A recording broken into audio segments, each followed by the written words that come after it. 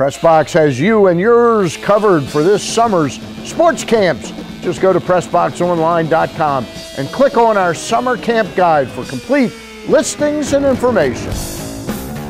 And welcome back to Inside Pressbox. The Baltimore Blast currently stand at 19 and 5, good enough for second place, just two games behind the rival Milwaukee Wave.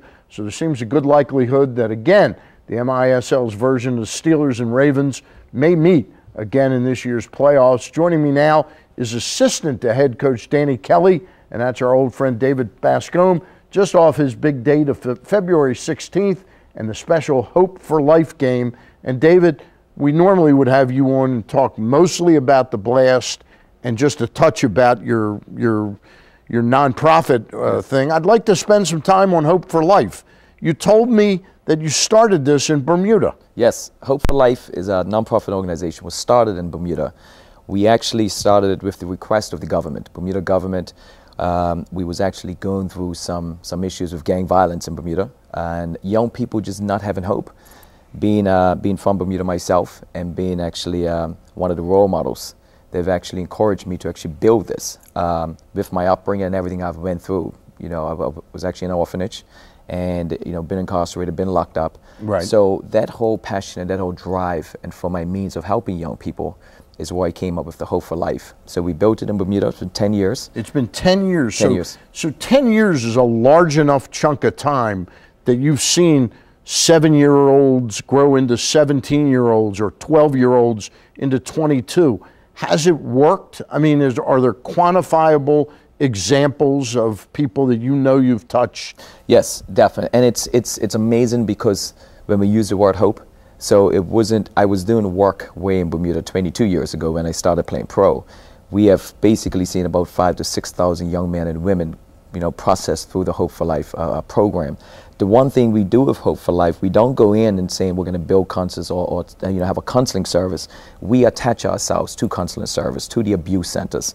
This is where we're seeing the success. For instance, a young man or woman may come to me. I do motivational speaking also all around the world. When I go in to speak to young people, uh, you know, doing my speaking engagements, uh, you know, for instance, a prime example. One of the young girls, 13 years old, came up says, "Mr. Bascome, uh, I understand your story. It's it's very it's encouraging to me." It's a 13 year old. Yeah. She says, "I need some help." Now, this young girl never went once to her counseling service that's at the school never told anybody, but she was a, a, young girl that was getting abused by her father, sexually abused. But because she knew what your story was and how you've helped others, she reached out to you. She reached out. So what we done and how Hope for Life works is that we, at that point, said, you know what, we are collaborated with also the abuse centers and all these other centers. So what we done, we basically walked this young lady straight to the abuse centers. Now also, we also are tied in with the police, the, the parole boards, everything. We also had our father arrested and inside of not even 24 hours. So it's these things that has to happen because if we don't collaborate to move our young people and also collaborate to also encourage them to be critical thinkers, we don't you're get no teaching hope. them essentially you're teaching them empowerment. Yes, how exactly. to, to handle life's problems and prosper from them, so to speak. Exactly. By prosper, I don't mean money. Yeah. I mean to move on more positively. That's exactly what it is, and that's the strength of it. And we can only have these strength in numbers. We're actually we're also tied in with education, and that's one of the biggest components of Hope for Life.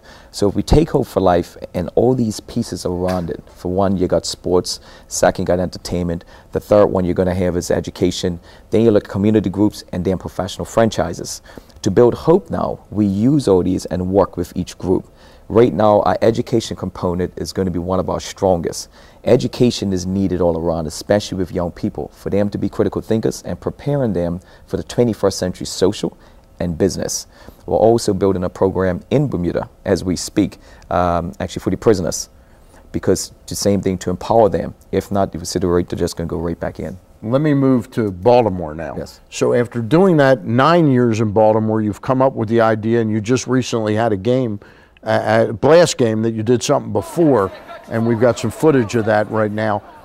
Where did you come up with the idea of doing this in Baltimore, and what prompted that? It's, it's the same thing. I realize is that to have an effect and a global effect and a national effect, we have to do things more and more have exposure. Um, we've been doing some stuff in Harrisburg, speaking engagements. But with the Baltimore Blast, I think it's a great channel uh, because they're a professional franchise. And what better place to partnership? Not only are we looking to partnership with Baltimore, I'm, I'm trying my hardest to find my way into the Ravens, to the Orioles, because it's not just building also leaders within our little people and our parents. Also, a lot of our professional athletes need to understand the importance of leadership. We have been given a voice. And as a professional athlete, your voice is greater than educators. If we like it or not, if educators like it or not, that's the reality of the beast. We, we have a stronger voice than a lot of business people and an even stronger voice than a lot of politicians because a lot of young people through media, they watch sports. They want to be that athlete, if it's a swimmer, if it's a tennis player. Hope for Life in our professional side of it now, deal with the athletes, we now generate and pull them in. But not anybody can talk to your young people. Not any professional athlete should be just going out and saying whatever we want. Right. So our job is to make sure is that when we use our Baltimore Blast players and we get tied in with some of the major franchises, our focus is to make sure that they're singing the same song. They're not just going into the schools and saying, you know what, young people stay in school. That's not enough. David, I got to ask you, we got less than a minute right now, and we haven't talked about this season at all, and we're not going to. You really get more fulfillment out of this than actual, actually playing, having played soccer. I tell you what, my fulfillment came of winning my championship when I went through my abuse when I was young, for seven years of sexual abuse, when I was incarcerated. All I had was the game. I had nothing else. My fulfillment, the biggest thing that I was told that I'd never win, that if I tell anybody about the abuse, I get myself in trouble and be able to play the game. So my focus was to win a championship. I've completed that task. My fulfillment now is passing something on for our young people, and that's why I'm here. It blew me away tonight. Uh, you know, this is a side of you. I, have always liked you, and we've right. had you on the show. Didn't know all about this, but I appreciate your coming on. We'll continue to support your efforts. Thank you. I appreciate that. All right. We thank David Bascome. When we get back, we're going to listen to two lacrosse coaches who had something to say at our February 2nd Thursday luncheon at Fredonia Station.